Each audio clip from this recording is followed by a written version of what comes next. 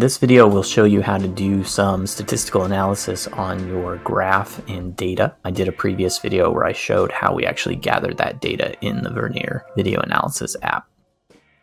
If you want to just get a quick review of how I clicked those points and what that looked like, I'm framing forward and I have the trails turned on so you can see where I centered the crosshairs at each frame. Now, one thing that I can do is go up to this menu item here, view options, and I'm done with the video, so I'm just going to go ahead and turn that off. The data table too is something that I'm not going to be too concerned with at the moment. I really want to focus on the graph. You've got an option here to show one or two graphs. It's going to show the velocity graph by default below. I'm going to focus on the position graph at this time. So I'll go to one graph. If you click in the graph and then drag this line, you can analyze each data point and see exactly where the position fell.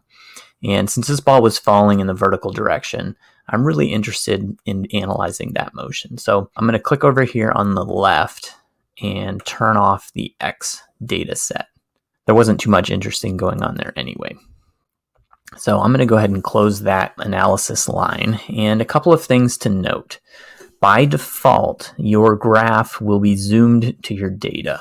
So what I mean by that is the, the data kind of fills the screen. One thing I would highly recommend is actually going into the graph options down here in the lower left and opening up edit graph options.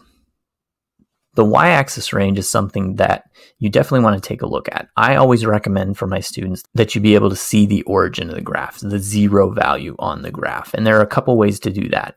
I can go ahead and just click here and type zero, or there's some scaling options, one of which is to always show zero.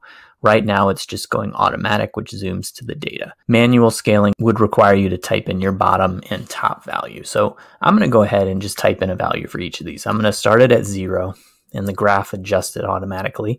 I don't know if you can see that in the background. And I like to have kind of nice round numbers. For this, I'm going to go ahead and type in 2.5, meaning 2.5 meters. The x-axis is my time axis. I'm okay with it running from 0 to 0.5. I just think setting the zero point helps us see that I dropped the ball from a height of about two meters, a little bit higher than two meters based on where I set my zero point. I would ask my students, first of all, to look at the shape of the graph and try to figure out what type of relationship we have here. Linear is most common, but we can clearly see a curve to this data, which we would expect because the ball is accelerating as it falls. So I want to do a little data analysis on this graph. And one way to do that is to click and drag over certain data points, or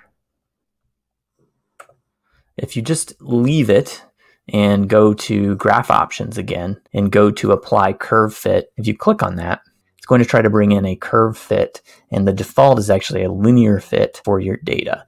And you can see that that's not a great fit. It's not really following the curve of the data very well. If I click the drop down menu here, if I think the graph is parabolic, I want to use quadratic relationship. You have a bunch of different options that may come into play with different relationships that you might analyze. When I click quadratic, I can see that it actually is quite a good fit to the data. This is where things get really useful. When you click apply, you get a box of information related to that data.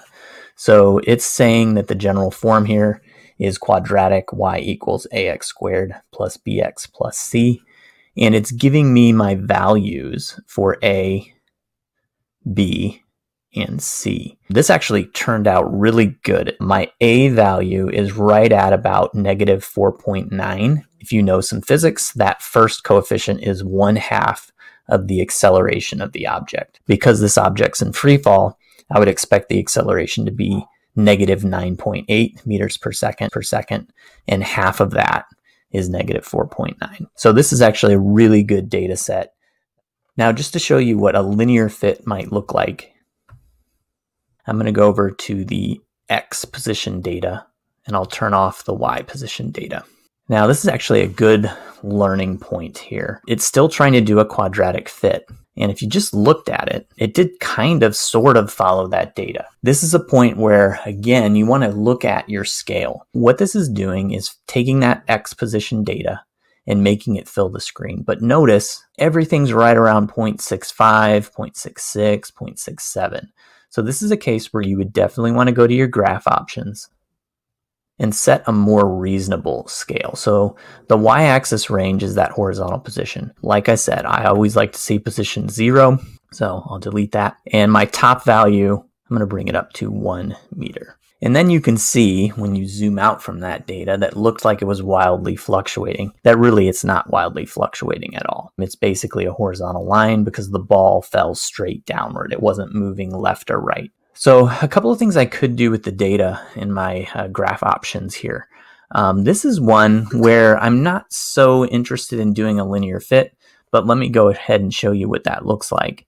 If I go to curve fit, again, the default is linear and I see that I get a an equation in the form y equals mx plus b. m is the slope, and this is essentially a horizontal line, so the slope is pretty close to zero. So it doesn't have a huge amount of meaning there. Now my b value is where that roughly straight line hits the position axis, and it's right around 0.6576. That's that kind of roughly constant horizontal position that it has because it's not moving left or right. So another thing you can choose down here in the lower left is statistics. Now this is one where I might actually get something useful. If I really think that the ball fell straight downward, I'm assuming that that X position is one flat value that maybe fluctuates a little bit just due to data collection sampling error. And so the mean value might be of interest to me here. Mean X position as it fell was right around 0.67 meters. It will also give you the standard deviation and show you the minimum and maximum values. And you can see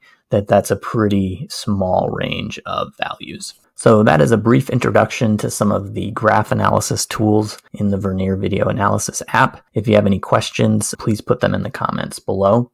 I will follow this up with a video that will guide you through some tips in actually recording your video on an iPhone. If you're finding these videos helpful, please consider subscribing to my channel, share it with other students and teachers, and as always, thank you for watching.